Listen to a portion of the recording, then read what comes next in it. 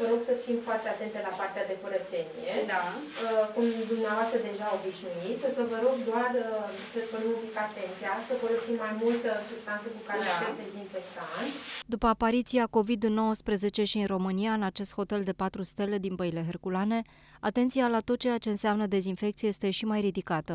Se curăță și dezinfectează clanțele ușilor, băile, oglinzile și toate obiectele cu care turiștii ar putea veni în contact.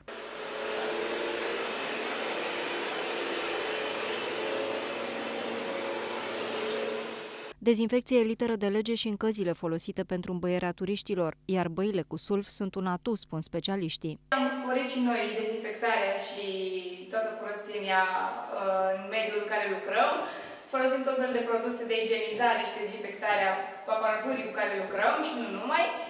Și vrem să protejăm și cumva să asigurăm clienții care vin la noi că suntem în regulă. Venind aici, am un sentiment de siguranță, văzând atâta uh, ordine, curățenie, văzând că se pune accent odată în plus pe curățenie și dezinfectare, un lucru normal și firesc.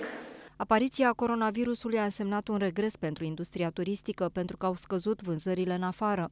Un regres pe care speră să le echilibreze hotelierii din țară. Turismul este undeva afectat în acest moment. Nu spunem că sunt uh, anulări de, de vacanțe, de sejururi, spunem doar că este o teamă de achiziționare a lor în acest moment. Probabil va scădea foarte mult cererea pentru uh, turismul extern uh, și din informațiile pe care noi le-am obținut de la mari tur operatori, uh, prima reacție a consumatorilor de turism aceasta a fost să stea mai mult pe lângă casă și preconizăm că va crește foarte mult cererea pe intern. Prima serie de turiști pe care hotelierii din Băile Herculane vor să-i atragă în stațiune sunt cei din mini-vacanțele de Paște și cea de 1 mai, așa că pregătesc oferte cât mai atractive.